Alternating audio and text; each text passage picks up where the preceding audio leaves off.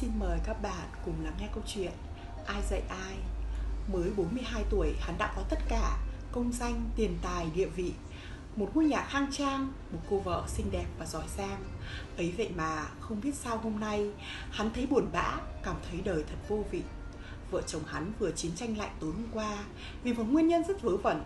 Dạo này hắn hay về muộn vì quá bận việc ở cơ quan Cảm thấy thật bế tắc Hết giờ ở sở, hắn quyết định không về nhà. Hắn muốn một mình và thật say Tạt vào một quán nướng vỉa hè có rượu ngon. Hắn ngồi thường sự đời Mới ngà ngà vại ly Chợt một người hành khất chìa bàn tay đen đủi trước mặt hắn Và không nói một lời nào. Thoạt đầu hắn không nghĩ đây là một người ăn xin Vì trông ông ta không tới nỗi quá tiểu tụy.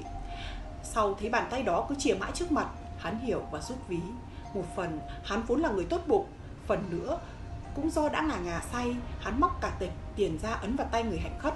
Một lần nữa, hắn lại trợn tròn mắt khi thấy người đó chỉ nhón đến một tờ 50 ngàn. Còn thì đưa lại tất cả kèm theo một lời cảm ơn mà hắn không bao giờ nghĩ đến.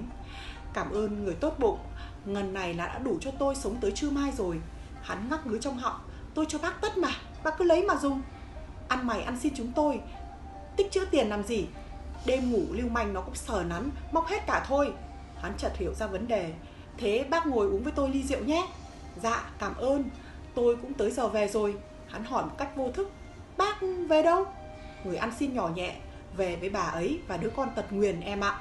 Về với mái ấm của mình. Bao nhiêu rượu đã uống, hình như trôi tuột ra khỏi bao tử của hắn. Về nhà thôi chứ nhỉ.